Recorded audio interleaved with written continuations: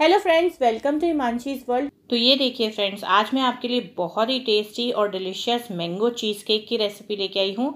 और सबसे बड़ी बात पता है क्या है? इसके अंदर मैं आपको घर पे क्रीम चीज़ कैसे बनाएँ, बहुत ही आसान तरीके से वो बताने वाली हूँ। तो वीडियो को एंड तक देखना बिल्कुल भी मत भूलिएगा, बहुत ही ईजी रेसिपी है। अगर रेसिपी पसंद आए तो वीडियो को लाइक और शेयर भी ज़रूर कर दीजिएगा। चलिए शुरू करते हैं। तो यहाँ पे देखिए मैंने चार के करीब ले लिए हैं बिस्किट। आप कोई से भी बिस्किट ले सकते हो। यहाँ पे मैंने पार्ले जी बिस्किट के छोटे पाँच रुपये वाले पैकेट लिए हैं चार। तो ये जो बिस्किट हैं, इनको हम मिक्सी जार में डाल देंगे।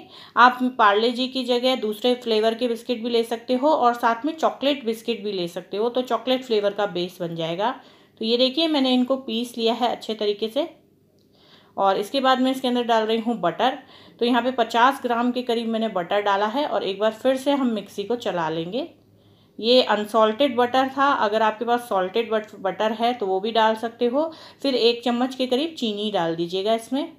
ये देखिए, ये यहाँ पे मैंने इस एक लूज़ बॉटम वाला केक टिन लिया है. देखिए, इसका बॉटम जो है इस तरीके से खुल जाता है.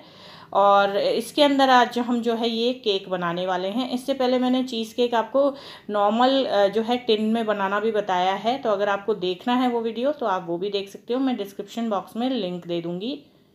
तो आप बिना इस तरह के टिन के भी केक बना सकते हो, चीज़ केक बना सकते हो। इसमें मैंने थोड़ा सा ऑयल लगा दिया है और इसके बाद मैं इसके अंदर डाल रही हूँ हमारा ये बिस्किट का चूरा, जो कि बटर के साथ हमने मिक्स करके रखा है। और ये जो है, ये हमारे केक का बेस बनेगा। तो पहले तो हम इसको इस तरीके से स्पैचुला की सहायता से एक सार कर लेंगे और थोड़ा सा दबा देंगे। उसके बाद कोई ग्लास ले लीजिए आप और उससे भी इसको थोड़ा सा दबा दीजिए ताकि ये बिल्कुल अच्छे तरीके से फ्लैट हो जाए। और इसके बाद इसको कम से कम आधे घंटे के लिए फ्रिज में रख देंगे हम सेट होने के लिए। तो चलिए जब तक ये सेट हो रहा है, मैं आपको बनाना बता देती हूँ क्रीम चीज़ घर पे। तो यहाँ पे देखिए, इसके लिए सबसे पहले मैंने एक किलो के करीब जो दूध है, इसके अंदर नींबू डाल के और इसको फाड़ लिया है। देखिए, इस तरीके से फाड़ लिया है। मैंने एक नींबू का रस इसके अंदर डाला था और ये देखिए, पानी अलग हो गया है, पनीर अलग हो गया है और इसके बाद इसको हम छान लेंगे। तो ये जो है फुल फैट मिल्क लेना है आपको। अच्छे तरीके से, बिल्कुल टोन्ड मिल्क नहीं लेना है फुल फैट मिल्क लेना है, जिसके अंदर जो है फ़ैट की मात्रा हो। यहाँ पे मैंने छन्नी रखी है और एक ये मसलिन क्लोथ लिया है। इसमें ये जो है हम सारा पनीर छान लेंगे। और फ्रेश पनीर लेना है, बाज़ार वाला जो क्यूब वाला पनीर होता है, वो नहीं लेना है। आपको दूध से ही जो है पनीर बनाना पड़ेगा। क्योंकि हमें जो है इसकी कंसिस्टेंसी सॉफ्ट चाहिए। इसके बाद मैंने देखिए, इसको एक बार धो लिया है अच्छे तरीके से, ताकि नींबू की जो खटास है वो निकल जाए। बाज़ार वाली जो क्रीम चीज़ है वो बहुत महँगी आती है और काफ़ी सारी जगह पे तो मिलती भी नहीं है। तो आप ये तरीका अपना सकते हो और इससे जो है बहुत ही टेस्टी केक बनता है। तो इसको धो के इसका एक्स्ट्रा पानी हम निकाल लेंगे।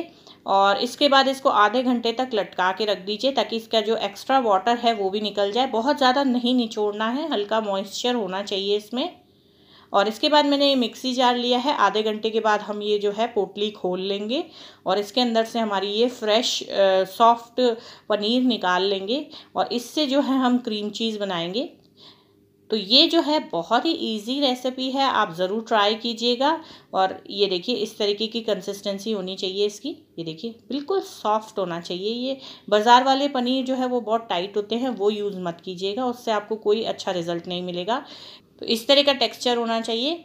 क्रीम चीज़ का जो टे, टेस्ट है वो बटरी होता है थोड़ा सा। तो यहाँ पे मैंने एक बड़े चम्मच के करीब सॉल्टेड बटर डाला है। और सॉल्टेड बटर ही डालना है, इसके बाद हम इसको पीस लेंगे। मैंने कोई भी लिक्विड नहीं डाला है इसको, इसके अंदर। तो ये देखिए, मैं इसको खोल के दिखाती हूँ। ये अच्छे तरीके से तो पिस गया है, लेकिन अभी भी इसमें दाने हैं।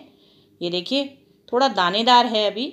तो इसको एक बार हम अच्छे तरीके से मिक्स करेंगे। ये जो चारों तरफ़ लग गया है, इसको भी नीचे करेंगे और उसके बाद इसको एक बार फिर से हम पीस लेंगे और बिल्कुल स्मूथ कंसिस्टेंसी होने तक इसको पीसेंगे।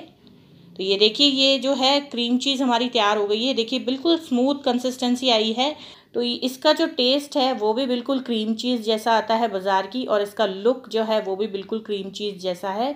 और आप बिलीव ही नहीं करोगे, जब आप इसको किसी को खिलाओगे तो ऐसा लगेगा ही नहीं उनको कि आपने क्रीम चीज़ से नहीं बनाया है। ये घर में इजीली अवेलेबल है और बहुत ही सस्ती बनी है। बाज़ार की क्रीम चीज़ बहुत महँगी होती है, ये बहुत ही सस्ते में बन तैयार हो जाती है। तो ये देखिए, इसका टेक्स्चर भी बहुत क्रीमी है। इसके बाद इसके अंदर मैं डाल रही हूँ एक बड़ा आम काट के पीसेज में और इसके अलावा मैं डाल रही हूँ उसमें वन फोर्थ कप के करीब चीनी। तो ये मैंगो चीज़ केक बना रहे हैं, इसलिए मैंने इसके अंदर मैंगो डाला है। आप और किसी फ्रूट का चीज़ केक भी बना सकते हो, जैसे स्ट्रॉबेरी चीज़ केक बना सकते हो, या फिर ओरियो चीज़ केक बना सकते हो चॉकलेट चीज़ केक बना सकते हो। तो ये पीस लिया है मैंने, देखिए बिल्कुल स्मूथ कंसिस्टेंसी हो गई है। और इसके बाद देखिए फ्रेंड्स, यहाँ पे मैंने ली है जेलेटिन तो ये एक बड़ा चम्मच के करीब जेलेटिन लेनी है हमें। सेवन से एट ग्राम्स के करीब होगी ये। इसको ठंडे पानी में मैंने भिगो लिया है। आधा कटोरी ठंडे पानी में मैंने भिगो लिया है।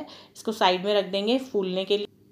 तो यहाँ पे फ्रेंड्स, मैंने ले ली है आधा कप के करीब क्रीम और ये जो है ऑलरेडी मीठी क्रीम है तो मैंने इसके अंदर चीनी नहीं डाली है। अगर आपके पास मीठी नहीं हो तो आप चीनी डाल लीजिएगा पाउडर शुगर डाल दीजिएगा। इसको हमें बिल्कुल स्टिफ पीक आने तक विप करना है, अच्छे तरीके से फूलने तक विप करना है। तो जो जेलेटिन आज मैं यूज़ कर रही हूँ इस क्रीम चीज़ केक को सेट करने के लिए, उसका लिंक मैं आपको डिस्क्रिप्शन बॉक्स में दे दूँगी। अगर आपको चाहिए तो आप वहाँ से जाके परचेज़ भी कर सकते हैं। तो ये देखिए फ्रेंड्स ये बहुत ही अच्छे तरीके से विप हो गई है क्रीम ये देखिए बिल्कुल स्टिफ हो गई है। और इस, और फ्रेंड्स इसके बाद इसके अंदर हम डाल देंगे हमारा ये जो मैंगो और क्रीम चीज़ का मिक्स हमने बना के रखा है, ये डाल देंगे। और इसको हम अच्छे तरीके से मिक्स कर लेंगे। इसका कलर बहुत ही प्यारा आया है, देखिए आप। और ये टेस्ट में भी बहुत ही डिलीशियस है। तो ये एक बार अच्छे से मिक्स होने के बाद इसके अंदर हम जेलेटिन डालेंगे। तो ये देखिए, यहाँ पे मैंने ये जो जेलेटिन है, इसको 30 सेकंड के लिए माइक्रोवेव में मेल्ट कर लिया था। अब ये जो क्रीम चीज़ वाला मिक्स है, इसको कंटिन्यू हमें विप करना है और साथ में ये जो हमारा जेलेटिन है, ये हम इसमें डालते जाएँगे और 30 से 40 सेकंड तक हम इसको अच्छे तरीके से विप कर लेंगे। ये देखिए फ्रेंड्स इसको मैंने 30 से 40 सेकंड तक बहुत ही अच्छे तरीके से विप कर लिया है और ये हमारा मिक्सचर तैयार है क्रीम चीज़ का। तो ये बहुत ही अच्छे तरीके से स्मूथ होना चाहिए सिल्की होना चाहिए। ये देखिए फ्रेंड्स ये हमारा जो टिन है, ये भी बहुत ही अच्छे तरीके से तैयार हो गया है, ठंडा हो गया है। मैंने इसको फ्रिज में से निकाल लिया है, नीचे का बेस सेट हो गया है और ये हमने क्रीम चीज़ का जो मिक्सचर है, इसके अंदर डाल दिया है।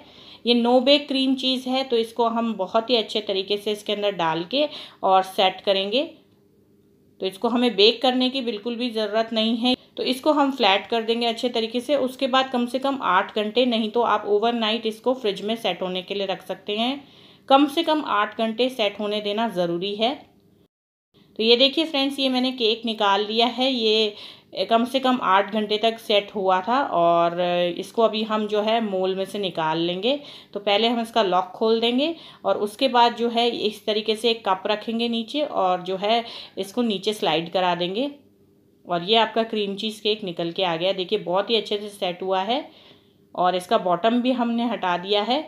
इसके बाद इस पैचुला से इसके बॉर्डर्स को जो है बिल्कुल स्मूथ कर लेंगे, ताकि लुक अच्छा सा आए इसमें। और इसके बाद मैं थोड़े से फ्रेश मैंगोज़ और चेरीज़ के साथ इसको सर्व कर रही हूँ। ऊपर ऊपर से मैंने मिंट लीव्स लगा दी हैं, और ये हमारा बहुत ही टेस्टी बहुत ही delicious mango cream cheese cake तैयार है, जो कि हमने होममेड क्रीम चीज़ से बनाया है। बिना बेक किए बनाया है तो बहुत ही टेस्टी केक है, ज़रूर से ज़रूर ट्राई कीजिएगा। और ये देखिए, इसका पीस मैंने निकाला। कितने अच्छे तरीके से सेट हुआ है, बिल्कुल फॉर्म सेट हुआ है।